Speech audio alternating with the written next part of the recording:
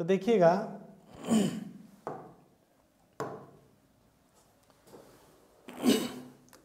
अब यहाँ पर ये देखना है कि इन्वेस्टमेंट अपॉर्चुनिटी सही है? Food grain cereal and pulses and oil seed processing match processing unit with install capacity of more than इतना TPD including units for manufacturing starch and cattle and poultry feed के लिए। Food grains cereal से and oil seed processing इसको क्या आप process करेंगे? सही है? अनाज से क्या क्या बना सकते हैं? अच्छी बात है। इनसे आप बनाइए। Including units for manufacturing starch and cattle के लिए। Any other cereal processing flour starch और ये सब बनाइए। मिक्सेस बनाइए ब्रेकफास्ट बनाइए और manufacturing unit with install capacity more than इतना टीपीडी नेक्स्ट है पल्सेस प्रोसेसिंग यूनिट मॉड बनाइए। Modern unit for oil seeds processing और extraction from raw materials obtain locally like vanaspati oil manufacturing from rice bard bran and vegetables like soya ये सब चीज़ बनाइए।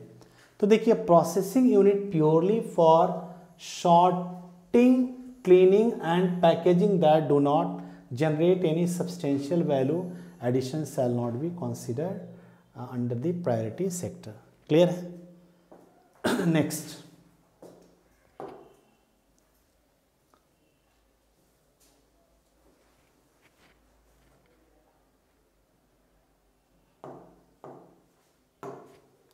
देखेंगे next all kinds of F and V processing units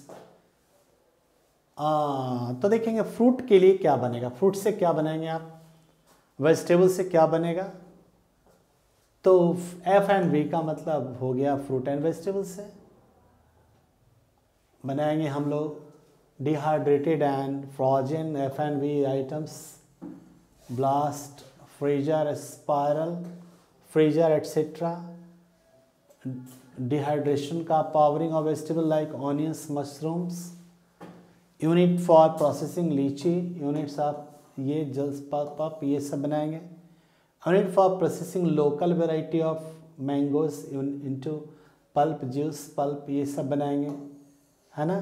candy बनाएँगे, ये सब बनाएँगे। स्टेट और countries shall not be considered under the priority sector unit for banana processing banana chips pulp ये सब बनाएँगे। है ना? यूनिट फॉर मखाना प्रोसेसिंग में यूनिट फॉर ये सब बनाएँगे। Roasted makhana snacks artistic kheer baby food तो ये सब, इन सब चीज़ों से बनेगा। चलिए आगे बढ़ते हैं। इससे बड़ा फैक्चुअल चीज़ है, वो आप लोग थोड़े से में समझ जाएँगे। नेक्स्ट है मिल्क से क्या बनेगा? प्रोसेसिंग डेयरिंग प्रोजेक्ट से क्या बनेगा?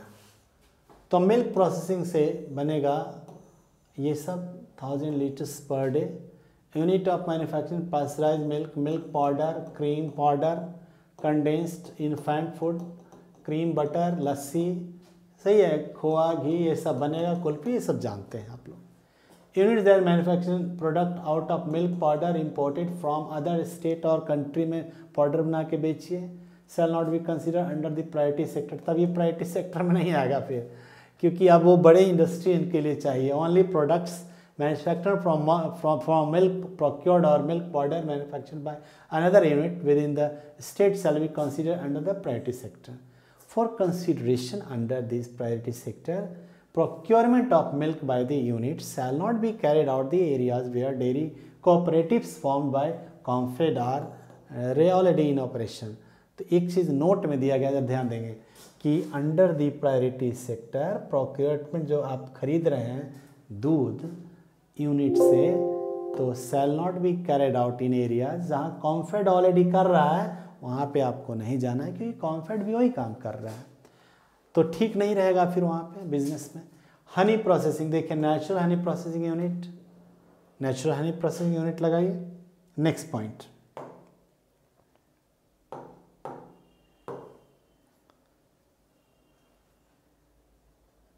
आगे देखेंगे meat poultry and fish processing तो meat poultry and fish processing unit में है fresh chill and frozen fish fillets and pieces fish cured and smoked and fish meal ये सब आइटम हो गया फ़िश का और मॉडर्न स्लॉटर हाउस एंड और abattoir spice and modern processing unit of spices बनाते हैं हम लोग तो फिर ये भी है।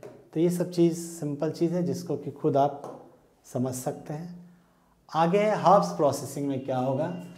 तो हर्ब प्रोसेसिंग में होगा पेस्ट मैन्युफैक्चरिंग आप पेस्ट बनाते हैं, या unit of extraction of food flavours colours या फिर health and wellness supply supplement के लिए करते हैं।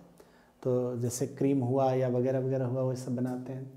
टी प्रोसेसिंग में हो गया other edible preparation modern unit of manufacturing biscuit cookies में, मॉडर्न बेकरी यूनिट में, ब्रेड पेस्ट्री में, मॉडर्न टेक्नोलॉजी, ये सब भी हो गया, आइसक्रीम बनाइए, modern unit of manufacturing chocolate and non chocolate तो ये सब हो गया आपका।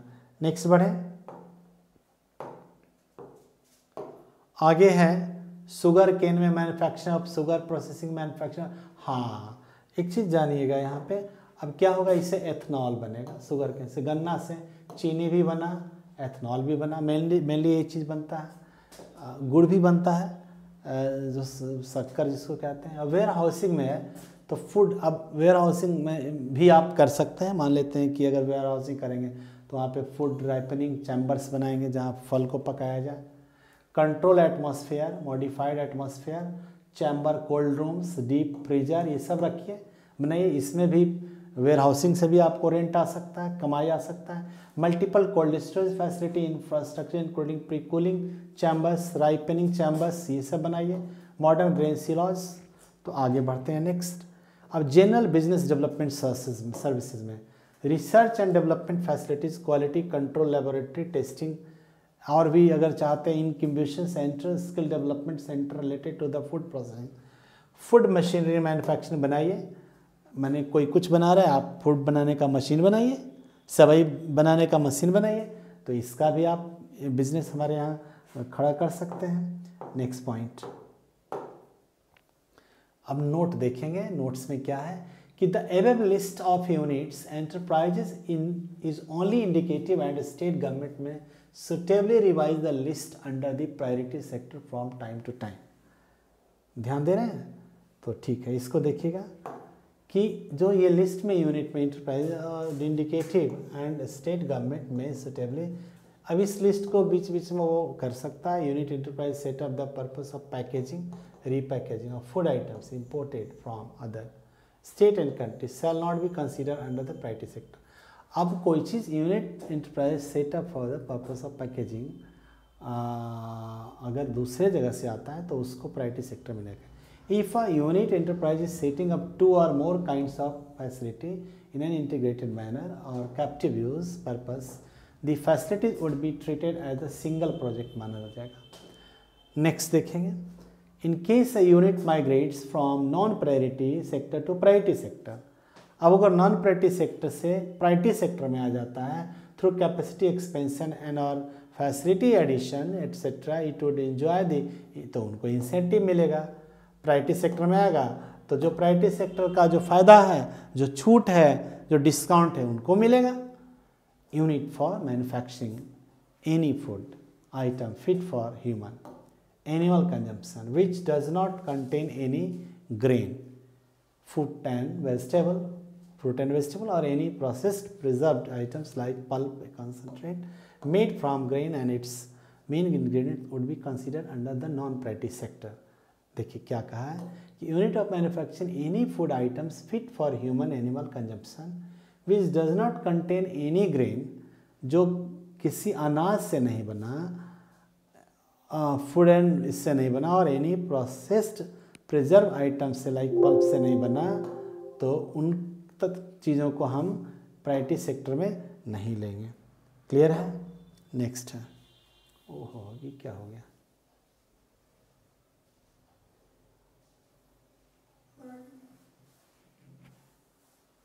नेक्स्ट अब आइए टूरिज़्म में, जो ज़रूरी है आपके लिए। थोड़ा बड़ा करें।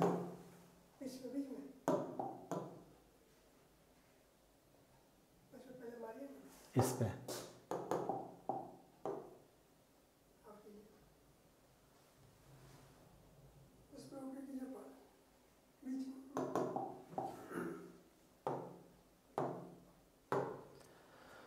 हाँ अब क्या है?